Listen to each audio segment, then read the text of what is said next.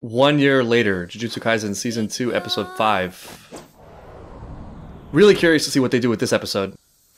Since the last few were just so insane. いけるねげ何今の How we holding up? 今までマニュアルでやってたのをオートマにした重力の強弱だけじゃなく 質量速度形状からも物体の危険度を選別で Gojo stepping it up, I guess. これなら最小限のリソースで無加減呪術をほぼ出しっぱにできる That's gotta be connected. That is totally a result of what happened. He's saying it so cheerfully, but I imagine the underpinning is never again, never again caught off guard. He tasted mortality, which is something I never thought I would see from Gojo. 赤と青それぞれの複数同時発動もぼちぼちあとの課題は領域と長距離の瞬間移動かな光線を起点に障害物のないコースをあらかじめ引いておけば可能だと思うんだ This is actually scary coming from Gojo because he's been this great, this amazing without really trying hard. He's coasted on his ability. When naturally talented people get serious, it's just next level. 一人でこなす翔子はもともと危険な任務で外に出ることはない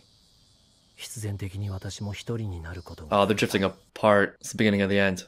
その夏は忙しかった But they were. So 29, premature death. No more hidden inventory. 払う取り込む Here we go, その繰り here we 返し go. 払う This is how the season started. みんなは知らない樹齢の味吐砂物を処理した雑巾を丸飲みしているような We've heard this. 自分に言い聞かせている私が見たものは何も珍しくない周知の醜悪知った上で私は術師として 人々を救う選択をしてきたはずだ I totally get it, and I actually sympathize up to this point. I'm guessing that for anybody who's watched these videos for an extended period of time, you probably know that overall I'm very positive on humanity and its potential and beauty. But my god, there are just moments, there are times in my life that are very rare when I come face to face with something truly disgusting, something truly repulsive in, in the human element. And I'm hit with the depths of just absolute perversion and evil that are possible in people. And also that it's actually not as uncommon as it feels because society kind of hems in people's behavior to a certain acceptable range so that if someone exposes those behaviors, there's extreme penalty, which means they're, they're living in hiding, they're living in shadow. And that that is just waiting. That's just waiting always. It's there. It's like around you at all times. And if you're not prepared for that, if you haven't like really encountered that before or ruminated on it and come up with an answer for why you still are good or why it's important for you to be not that, you know, independently of things like societal reward or avoidance of punishment, it's hard not to be absolutely blindsided by that. And it can shake your core beliefs about what humans are. And it's also very easy to way over extrapolate or generalize that into something bigger than it is and to get mixed up in it as well. And I've never even experienced anything like what Geto went through. Especially dangerous is if you come across either something huge like Geto experienced or just encounter it again and again repeatedly. And if that thing counters what you stand for and what you think or what you've told yourself you're doing for the world. And absolute worst of all, if despite all that, they are thriving, they're getting things that they want. They appear successful. They appear to have fewer challenges than you. That's the recipe for absolute revulsion. That's the easy dark side path to slip into when the other way is much more difficult, which is total personal responsibility. Coming to terms with that, having your own motivation so crystallized that it doesn't matter what other people are doing, what other people are in terms of you following your own your own values and moralities. The truth is probably that it's something you haven't figured out. Or like Geto, you thought you knew it, but you don't. It's different to experience it. But he understands now, I'm guessing, Oh yeah, those moments, those long moments in the shower. Whoa, what a shot! This is amazing. That clapping seems so haunting.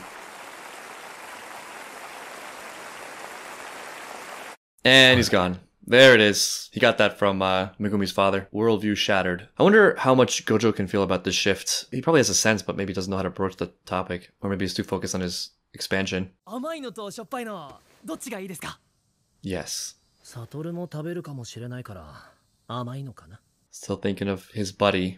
自分はあまり物事を深く考えないたちなので自 pretty 分にで deep- きるこ deep とを thought. 精一杯頑張るのは気持ちがいいです Makes sense. Feels good to feel like you're doing well at something. 君がゲトウ君どんな女がタイプかな Huh?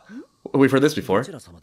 ちら様ですか Is this an older sister? 素直で可愛いじゃないか 術師としてはもっと人を疑うべきかとでゲトウ君は答えてくれないのかな I mean, his answer was easier because he doesn't have to eat vomit flavored rags or whatever the analogy was. つくもゆきって言えばわかるかな I feel like it should, but it doesn't.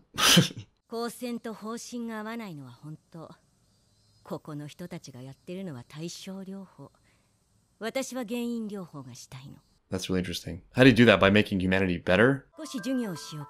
Yeah, I'm actually really intrigued. They are the result of negative energy.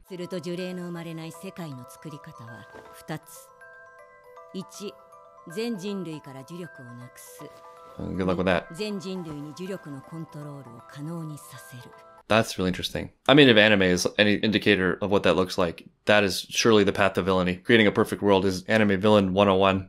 モデルケース君もよく知っている人さ全員当時 That is a familiar name. I don't think we're going to be using him as a model now, though. まさに超人 And now he's 負け gone. たことは恥じなくていい Uh, it's 彼を研究したかったが surprisingly 振られ encouraging. てしまってね惜しい人を亡くしたよ Uh, very discouraging, very insensitive.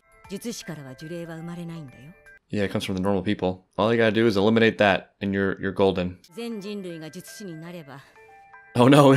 Oh no! You don't know what you're doing, lady. You don't know what you started. A little bit of a leap there, but okay, Geto. Speaking of a perfect world. This clapping is insane. Such a good effect.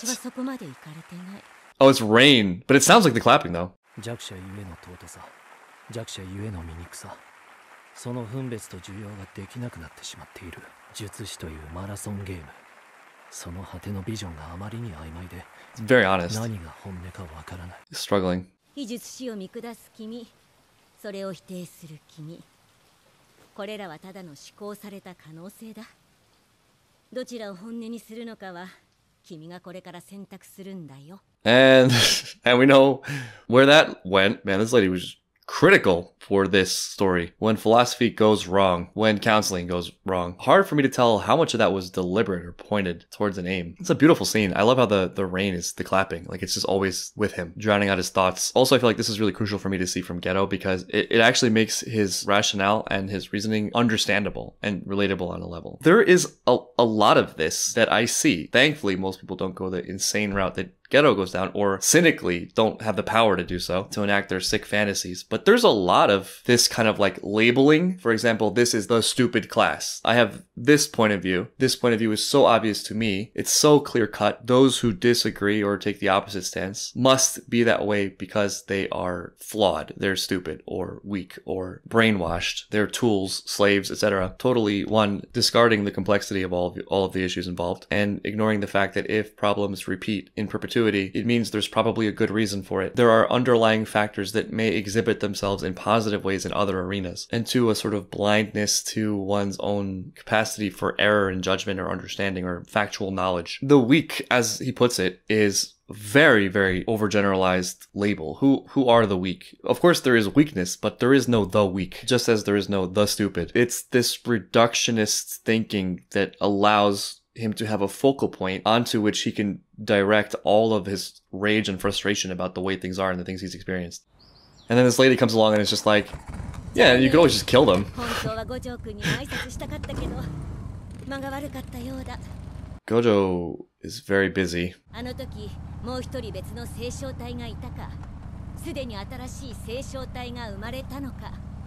That is a huge relief. Thank God. Because out of all that, what we really cared about was Tengen. もうあの人一人でよくないですか術師と what, what happened? It's one thing after another. Man, he was just just there smiling, like and drinking cola not two minutes ago. That really feels like a punctuation mark at the end of Geto's question.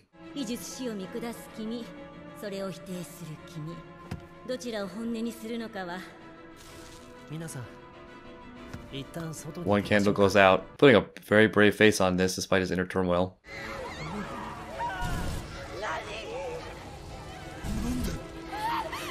This is all very convincing. Just living in the darkness all alone all this time. Not even the camaraderie that he used to have. Did I read that correctly? Was that his, his first his first attack? 何度も言わせるな Gojo just seems blindsided. 結婚と残影からおそらく両親も手にか He's gone. 悟る俺も何が何だかわからんのだ High chance Go- Gojo blames himself too for not catching it. 犯罪者じゃん何かよ運試しってとこかな ふん一応聞くけど冤罪だったりするないね残念ながら Bizarre. Bizarre. Is this Shinjuku? Looks like Shinjuku. 五条ゲトいたよ He's here deliberately. そう新宿 It is Shinjuku. Yeah, it's Shinjuku Station. Very accurate. 翔子から聞いただろそれ以上でも以下でもないさ Any attempt at recruiting Gojo? 意味ない殺しはしねえんじゃなかったのか those were his words. Out of his mouth. He could.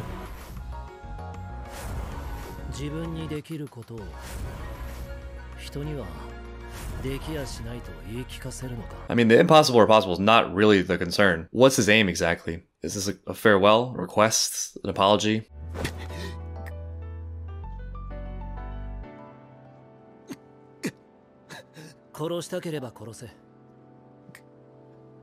Can't. それには意味がある At this point, anyway. なぜ追わなかった It's my boy. 先生俺強いよね He's just fishing for compliments. 俺が救えるのは他人に救われる準備があるやつだけだ Speaking of Gojo as God, God only helps those who help themselves. 本当にその格好で出るのかいいだろうハったりは大事だ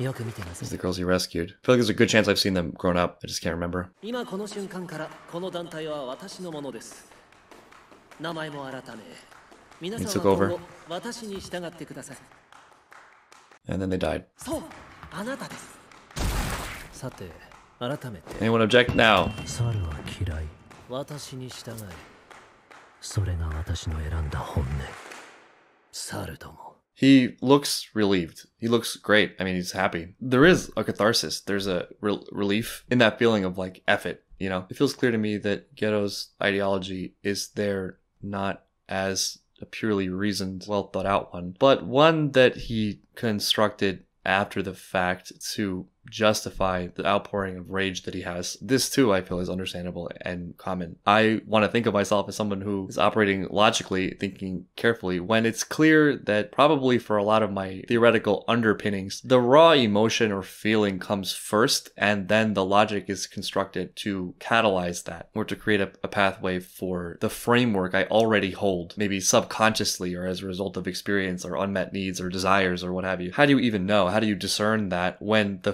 faculties you're using to discern that are already compromised by that that very thing, that very underlying framework? It's kind of an unseen unseen. 伏黒めぐみくんだよね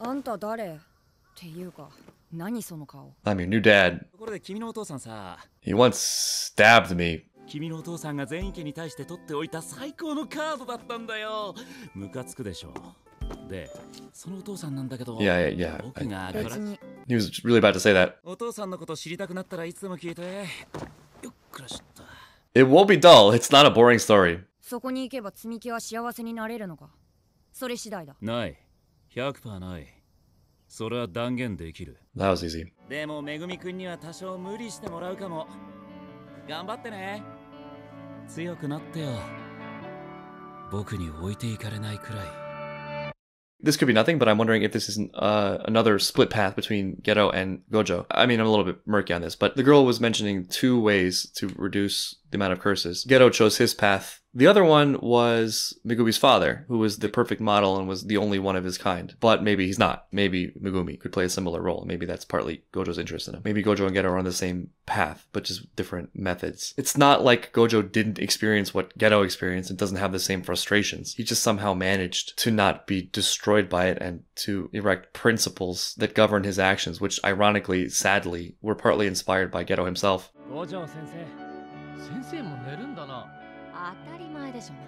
Hey, we're back. There we go. Feels good.